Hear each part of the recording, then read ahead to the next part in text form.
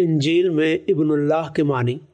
इमाम फ़राही रहमुल्ला का नुक्ता नज़र ये था कि अंजील में हज़रत ईसा अलैहिस्सलाम को खुदा का बेटा नहीं, खुदा का बंदा कहा गया है। वो कहते हैं, तर्जमा, इंजील में जहाँ कहीं भी अल्लाह का बेटा है, वो हकीकी मानी में अब्दुल्ला है। और जहाँ कहीं भी मेरे बाप या मेरे और तुम्हारे बाप है, उससे मुराद मेरा और तुम्हारा परवरदिगार है। इमाम फ़राई रहमुल्ला ज़ुबान के बहुत बड़े माहिर थे। उनको इब्रानी ज़ुबान भी बखूबी मालूम थी, चूँकि बनी इसराइल के मुक़दस सहाफ़ कुतब बेशतर अबरानी ही में होते थे और उनके रब्बी और बड़े पेशवा इसी ज़ुबान को इस्तेमाल करते थे। आपका मौक़ था कि गालिबा इसी ज़ुबान में इंजील को भी नशर किया गया। मौजूदा अनाजील भी साफ़ साफ़ अल्फाज में शाहिद हैं कि हज़रत ईसा के यहूदियों के मजहबी पेशवाओं से कसरत से मुकालमे हुए, जिनके मतलब एक अहतमाल है कि इबरानी में हुए होंगे।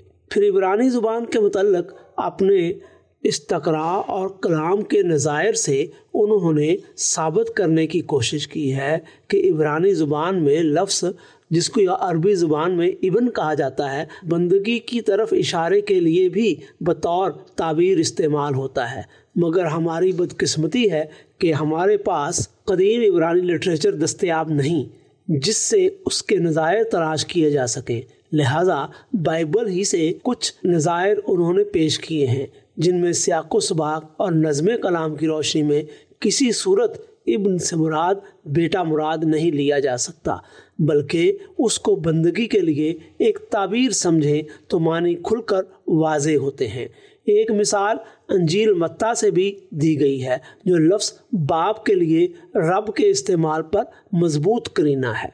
मैं ये समझता हूँ कि औलाद का जो मर्तबा वालदेन के मुकाबले में तौरात बयान करती है, उसके पेश नज़र ये बात समझना मुश्किल नहीं है कि लफ्ज़ इबन को बतौर ताबीर बंदा के मानी में भी इस्तेमाल किया जा सकता था। औलाद गोया वालदेन के सामने एक गुलाम थी। माँ बाप की नाफरमानी पर आप कत्ल भी हो सकते थे और ऐसा ही अंजाम खुदा की नाफरमानी का भी था। लफ्स अपने असल से निकलकर आहिस्ता आहिस्ता दूसरे मानी की चादर भी ओढ़ लेता है। मुमकिन है कि इबरानी साहब पर मज़ीद तदब्बराना तरीके से निगाह डालने से इस लफ्ज़ की हकीकत बेहतर तरीके से मुतन हो। इमाम फ़राही ने अपनी एक कोशिश कर रखी है।